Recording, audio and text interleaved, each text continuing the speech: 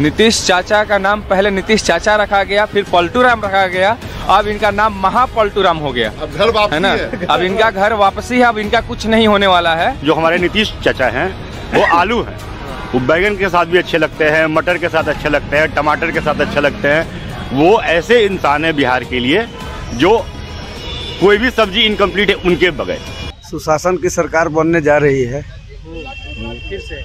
फिर से।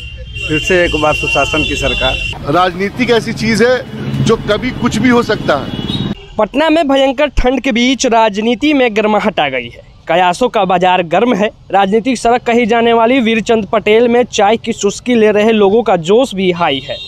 BJP office से लेकर जदयू कार्यालय तक कयासों का दौर जारी है। मौजूदा राजनीतिक स्थिति को देखते हुए हर पहलू पर लोग विचार विमर्श करते हुए दिखाई दे रहे हैं।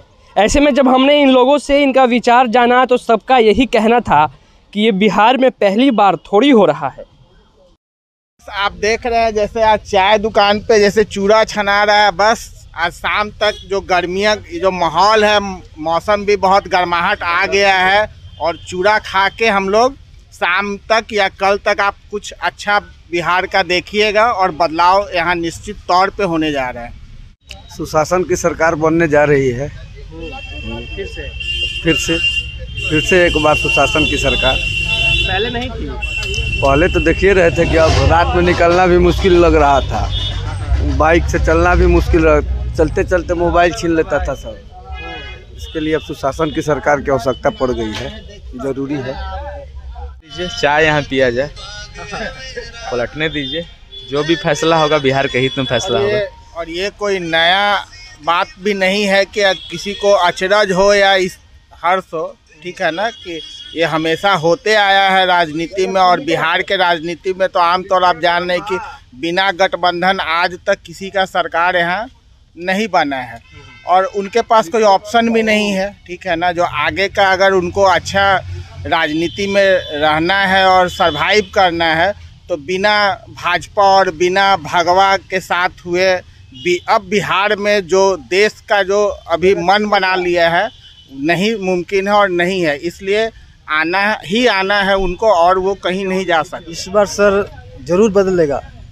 कहाँ जाएँगे नीतीश नीतीश जी तो अभी मुख्यमंत्री जी को हम नहीं कर सकते हैं अभी कहाँ जाएँगे? बाकी ऐसा हो सकता होगा ऐसा आए समय आएगा तो वहाँ पर ज़रूर पहुँचेंगे जहाँ पे पहले थे। झंडा का कलर देखे। हैं झंडा का कलर में सबसे पहला रंग कौन होता है? भगवा। और सबसे निचला रंग कौन सा होता है? हरा हरा तो भगवा रंग आप समझिए कि बीजेपी है। और जो का, जो हरा रंग है वो आप उसको आरजेडी मान लीजिए एग्ज़ाम्पल उदाहरण के तौर पे। और बीच का जो झंडा है ना बीच का जो कलर है वो कौन सा कलर होता है? वाइट सफ़ेद। उसको आप मान लीजिए जदयू। अब ये आप देखिए कि ये दोनों कलर के बीच में रहता है यानी ये दोनों के बीच में एक मतलब परिवर्तन के तौर पर रहता है और दोनों में सम्मिलित और समाहित रहता है। राजनीति एक ऐसी चीज़ है जो कभी कुछ भी हो सकता है। जदयू का पेट मिला हुआ है। नीतीश चाचा का नाम पहले नीतीश चाचा रखा गया फिर पलटू राम रखा गया अब इनका नाम महापलटू राम हो गया। अब घर वापसी है ना? है। अब इनका घर वापसी है अब इनका कुछ नहीं होने वाला है। आ, रही बात इलेक्शन की तो 2025 में आरजेडी बिहार से बहुमत से अपना सरकार बनाएगा। और ये पूर्ण विश्वास है हमें। पॉलिटिक्स के जो हमारे नीतीश चाचा हैं वो आलू हैं।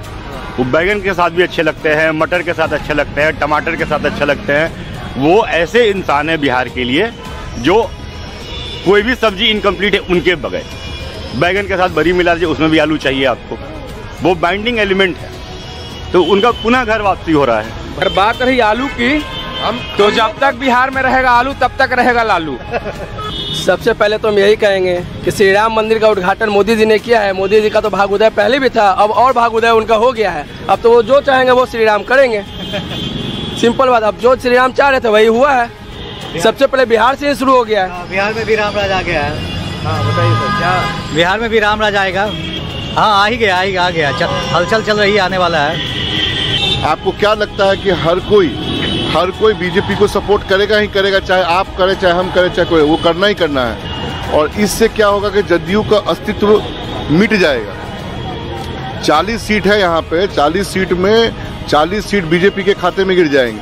तो कम से कम जदयू बहुत अच्छा काम कर रहा है कि वहाँ से गठबंधन तोड़कर और वो एनडीए के साथ गठबंधन करके अपना भविष्य को सही जगह पे रख रहा है। नहीं तो पता चलेगा कि जदयू के खाते में एक भी सीट ना आया एमपी का, और उसके बाद आपको पता है क्या होना है। तो